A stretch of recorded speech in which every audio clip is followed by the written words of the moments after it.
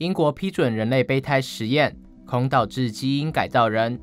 英国人类受精与胚胎管理机构准核一项生物实验，这起实验未来可能会导致设计婴儿的诞生，但目前来说，该实验的宗旨并不是为此目的。这起实验将会由伦敦克利克研究院的分子生物学家 Cathy n i a k e n 博士率领。这起研究将会利用捐赠者伴侣的精子与卵子，透过实验来更了解受孕时发生的问题。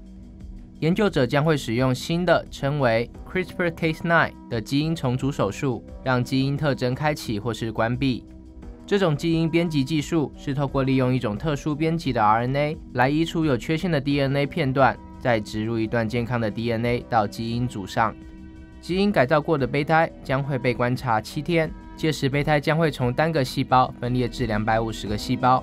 批评者称，这起实验恐会是基因改造人计划的第一步。尼尔坎博士告诉《卫报》，社会大众会决定什么是可以接受的，科学只是告诉大众有没有这个可能性。